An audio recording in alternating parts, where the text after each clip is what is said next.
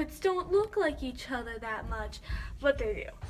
Cause let me tell you, in the story, in the um, in the um book, Rebecca goes to the fair or whatever, the carnival.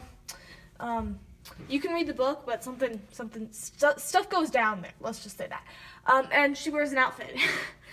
and this is the historical outfit that she wears there. This is the BeForever outfit that she wears there. Or maybe she just goes one time, where's that, go, goes one time, where's that. I don't know. But either way, these are both her, like, carnival or fair outfits, like her going out outfits. Um, I actually think both of them look really cute. The only thing that I have a problem with is, you, you'll see. I'll tell you.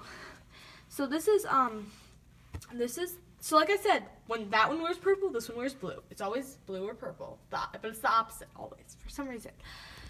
Um, so I like the shoes. I mean, I don't like the shoes. The shoes I don't really like that much, but I think the um the outfit um is really cute.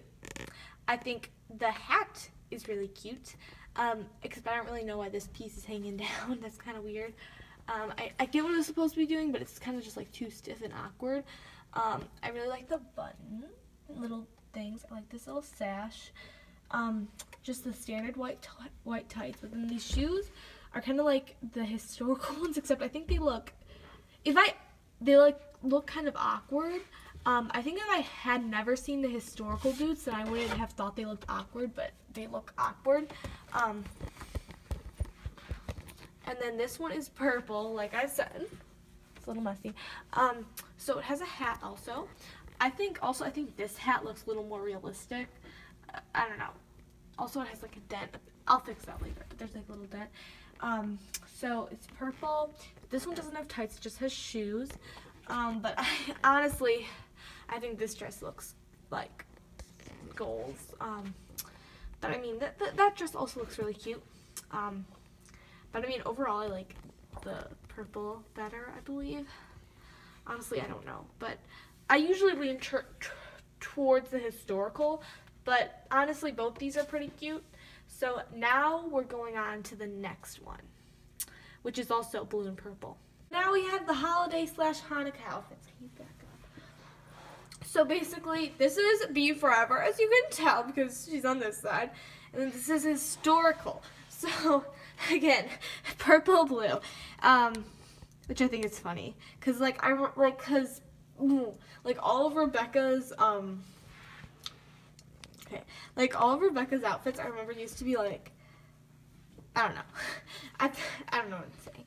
Um, so, let's do the beef. So these are basically, I think this one's actually called her Hanukkah dress, and this one might be called her holiday dress. But either way, she celebrates Hanukkah, and yeah, she, this is what she wore on Hanukkah in the books. Um, oh, we also have a little menorah over there. Oh, I'll tell you a little story about that menorah. So I got that as like Rebecca's menorah, but then they changed it to the Truly Me menorah.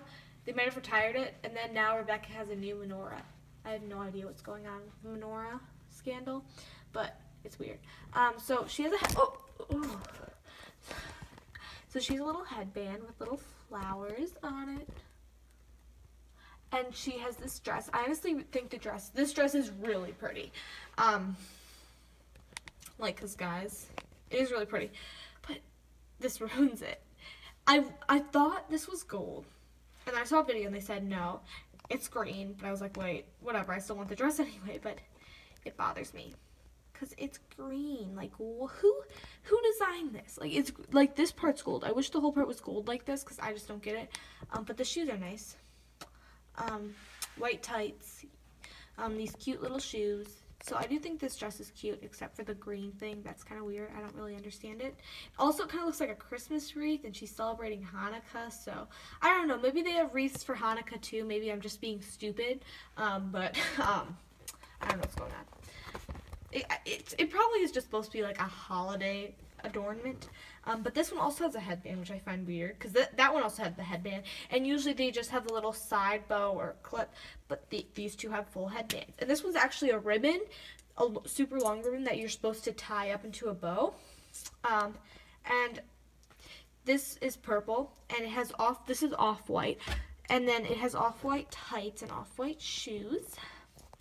So also another thing, that's weird is that um some of the historical outfits have this like drop you can't see it they have this drop waist like even her old meet outfit has it. Well this one's not that dropped but usually it's like below um below the hips or like drop like it, it goes down.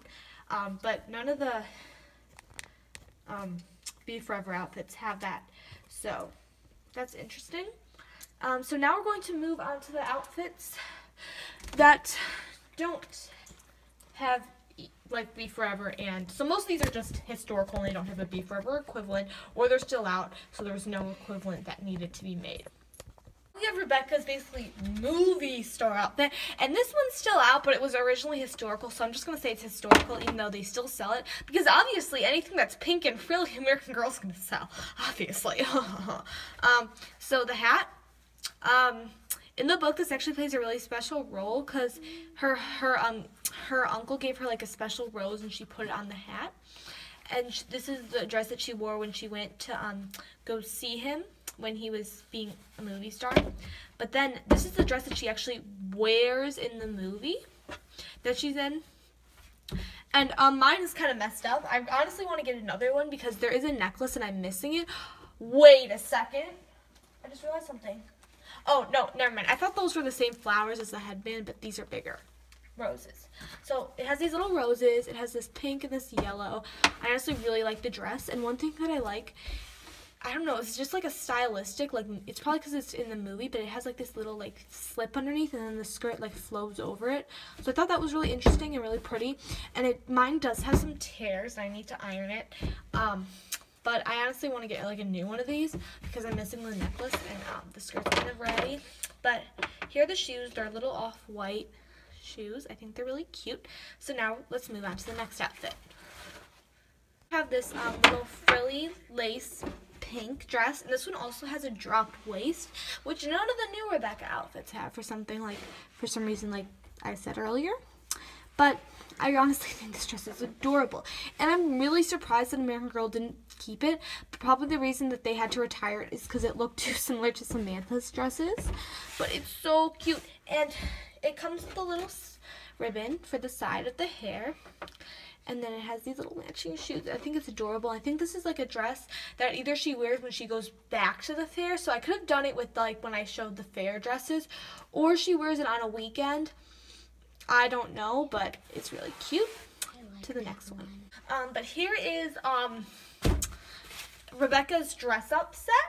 And it came with her dress up chest, but I think for a while they were selling it separately with, than the chest, so that's why I'm doing it separately.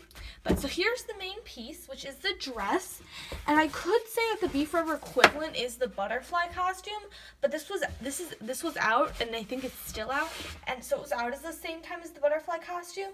But at one time they did um, refer to this like I think they alluded that this was the costume that she used when she when she was the butterfly queen because of these like if you okay this is really interesting. So this is the main piece and it has these layering pieces. So this piece was supposed to be this is like what they had back in the day as their pretend fairy wings I believe. So I believe originally this was supposed to be her butterfly costume and um, honestly, the butterfly costume is the one Rebecca outfit that I had that I wanted so bad. I have the accessories for it. I have the like the makeup thing that was supposed to go with it, but I didn't get it. I want it so bad. But like one time I looked on eBay and it was like a hundred dollars and I was like, what? But I want I want it so bad. But this is like so originally I think this was supposed to be like that because these are supposed to be wings. And you hook you would hook them onto the back of the dress, which is really inventive. So I think that is honestly really cool. And then this is another layering piece. So you wouldn't wear this by yourself. You would put this uh, this slip on over the dress and it almost kind of looks like a flapper costume is what I thought but she's she's right before the 1920s so maybe like this is this was supposed to be like her dressing up as a movie star. So this was probably like the pre like what started the flapper craze those movie stars wearing dresses like this. But then anyway it has this little matching headpiece. And it actually it actually doesn't go like this. It goes like around the head. Here I'll show you. Just take you.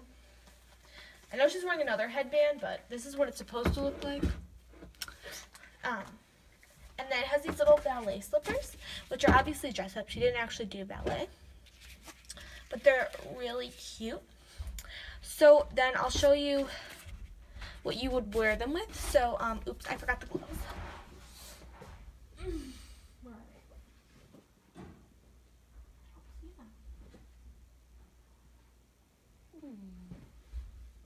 you pause it? This outfit combination.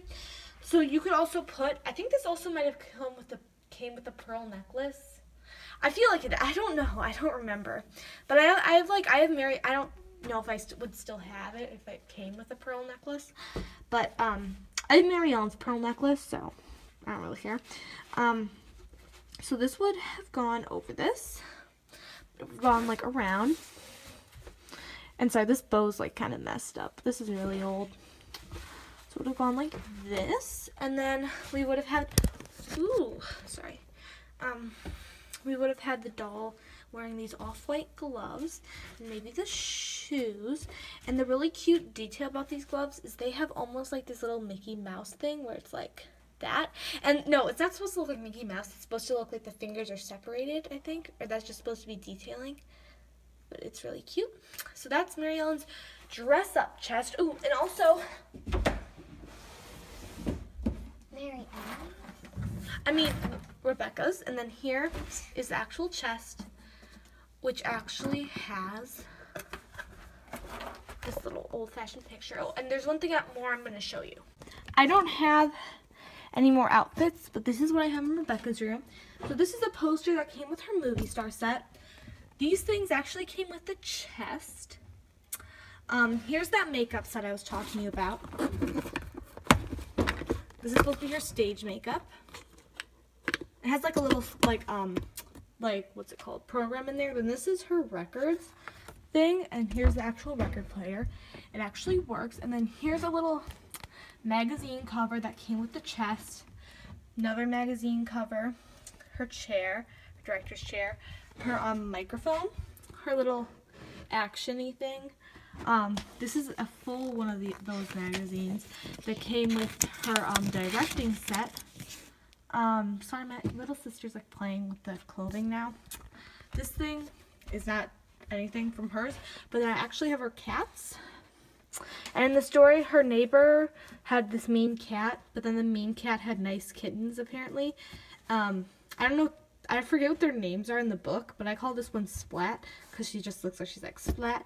And then I call this one um, Marie Kitten, because she looks very proper. Um, So that's the story behind those little cats. And yeah, this is my full collection um, of Rebecca stuff. Please comment, like, and subscribe. And tell me what you think. Um, bye!